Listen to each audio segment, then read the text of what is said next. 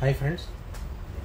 Suppose if your tv is showing uh, this pop-up see here it's showing uh, your tv is in shop mode. For home mode please select system and change location in menu. That means tv is in shop mode. For in this google tv if you are facing this type of uh, issue then you can ch- easily change the settings shop mode to home mode. That i will show you step by step step okay? For that you have to select a settings go to settings.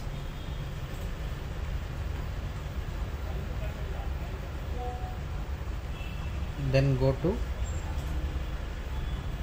systems.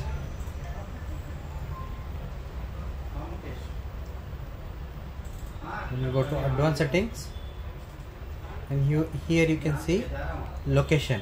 In location you can see it selected shop tv if you are using in home then it should be in home mode. You select home. That's all. The tv will work normally. Okay? Thank you